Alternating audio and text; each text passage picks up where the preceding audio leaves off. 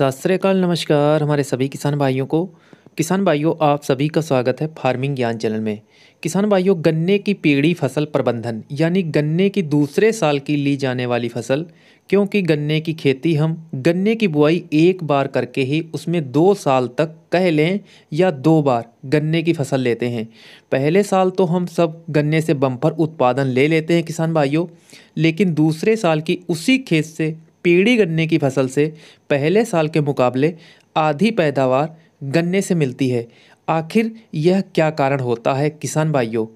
आज मैं आप लोगों को कुछ ऐसे बेहतरीन टिप्स बताने वाला हूँ कि पीढ़ी गन्ने से भी आप रिकॉर्ड बम्पर पैदावार किसान भाइयों ले सकते हैं। क्या स्प्रे में प्रयोग करना चाहिए? शुरुआती दौर में कल्लों का अधिक फुटाव हो और किन किन खादों का प्रयोग करना चाहिए? आप लोग एंड तक वीडियो को किसान भाइयों ज़रूर देखें। प्लीज़ किसान भाइयों, अगर आप हमारे चैनल पर पहली बार वीडियो देख रहे हैं तो प्लीज़ चैनल को सब्सक्राइब कर लें और पास वाली घंटी को भी प्रेस कर लें, जिससे खेती के आने वाले वीडियो समय तक पहुँचें। कुछ हमारे किसान भाई दूसरे साल की पीढ़ी गन्ने से भी पहले साल जितना ही रिकॉर्ड उत्पादन प्राप्त करते हैं ऐसा क्यों? क्योंकि उनका प्रबंधन नंबर एक होता है। गन्ने की कटाई जब हम लेबर से किसान भाइयों करवाते हैं, उस समय बहुत बड़ी सावधानी रखनी होती है। गन्ने की कटाई ज़मीन के बराबर से होनी चाहिए।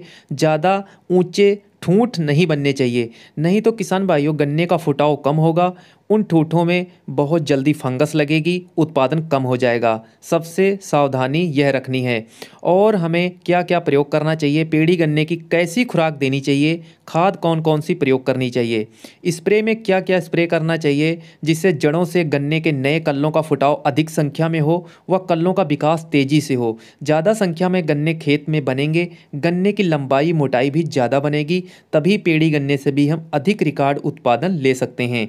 गन्ने की कटाई के बाद गन्ने की जो पत्ती होती है, जिसको हम फ़सल अवशेष भी कहते हैं, लगभग अस्सी प्रतिशत तक खेत से बाहर निकाल देना चाहिए या आपको किसान भाइयों सेल कर देना चाहिए।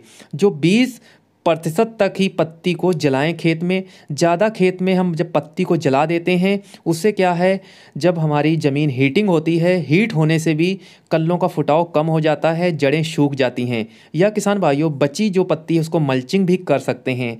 अब जो सबसे पहले प्रयोग करना है वह है स्प्रे। स्प्रे भी आपको लाइनों में ही करना है, जो लाइनों में ठूट हैं गन्ने के, जड़ों के ऊपर करना है अच्छे तरीके से। सबसे पहले आप लोगों को क्या लेना है? इमिडा क्लोरोपिड, सत्रह दशमलव आठ परसेंट। इसकी मात्रा रहेगी एक एम प्रति लीटर प्लस मैंकोजेब इसकी मात्रा रहेगी दो ग्राम प्रति लीटर। तीसरी जो आप लोगों को लेना है, इथोफेन इथरेल। इसकी मात्रा किसान भाइयों रहेगी 25 एम प्रति एकड़। स्प्रे सभी को मिलाकर करें। इससे क्या है, जड़ों में कीट, बोरर से बचाव होगा। ठूठ में फंगस लगने से बचाव होगा। वह शुरुआती अवस्था में कल्लों का निकलना प्रारंभ हो जाएगा किसान भाइयों।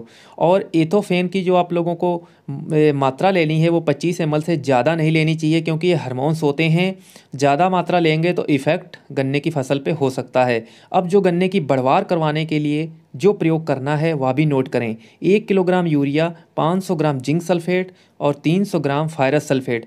सभी का घोल बनाकर लगभग 100 से सवा सौ लीटर पानी के साथ मिलाकर एक एकड़ में स्प्रे करें। इसके फ़ायदे जो हैं, कल्ले प्रारंभिक अवस्था में निकलेंगे, वह सब बराबर के गन्ने बनना स्टार्ट हो जाएँगे और उपज भी आप लोगों को पूरी मिलेगी। गन्ने की मोटाई भी अच्छे से होगी। अब पेड़ी गन्ने में पोषक तत्व की पूर्ति करनी है, जो हमारे मेन बड़े पोषक तत्व होते हैं। आप किसान भाइयों डीएपी खाद भी डाल सकते हैं। अगर आप सिंगल सुपर फास्फेट खाद का प्रयोग करते हैं डीएपी की जगह तो रिज़ल्ट और भी शानदार मिलते हैं। सिंगल सुपर फास्फेट किसान भाइयों, शर्त इस बात की है कि ओरिजिनल होनी चाहिए। मार्केट में बहुत डुप्लीकेट खाद भी आ रही है सिंगल सुपर फास्फेट जहाँ से लें, आप पक्का बिल लें और ब्रांड की लेनी है। आपकी मात्रा रहेगी चार से पाँच बैग प्रति एकड़ सिंगल सुपर फास्फेट इसमें आप लोगों को कैल्शियम, सल्फ़र भी अच्छी मात्रा में मिलता है, जो कल्लों को शुरुआती दौर में फुटाव में सहायक होता है। और यूरिया रहेगी 40 से 45 किलोग्राम 30 से 35 kilogram potash M O P साठ परसेंट वाली। आपको मिक्स करके अच्छे तरीके से लाइनों में डाल के खेत के अंदर गन्ना कटाई करने के बाद बहुत हल्की हैरों का कट लगाकर आप लोगों को जुताई करनी है। हैरो जो होती है, खींचने वाली हैरो का प्रयोग करना है, लिफ्ट वाली हैरों का प्रयोग नहीं करना है। सावधानी रखनी है कि जड़ें आपकी उखड़ ना सकें। इस बात को भी ध्यान रखना है। किसान भाई को हैरो जो लगानी है बहुत हल्का कट लगा के बहुत धीरे से जुताई करनी है। खाद जो हम डाल के खेत के अंदर अगर हैरो से मिक्स करते हैं बहुत हल्की हैरो लगाकर इसका रिज़ल्ट बहुत शानदार मिलता है। जड़ों के पास खाद पहुँच जाती है। ज़मीन जो है वो मुलायम और नरम बन जाती है। कल्लों का फुटाव अच्छे से हो पाता है। किसान भाइयों अगर आप हैरो से जुताई नहीं भी करते हैं तो किसान भाइयों, ध्यान रखना चाहिए, मार्च, अप्रैल और मई तक आपको मैनुअल तरीके से, लेबर से, फौड़े से एक या दो गुड़ाई खेत के अंदर ज़रूर करवा देनी चाहिए बेहतर उत्पादन प्राप्त करने के लिए पेड़ी गन्ने की फ़सल से। किसान भाइयों, जानकारी मेरी आप लोगों को कैसी लगी? अगर अच्छी लगी होगी तो किसान हित में प्लीज़ लाइक और शेयर करें। अगर कोई सवाल है तो कमेंट में आप सवाल को पूछ भी सकते हैं।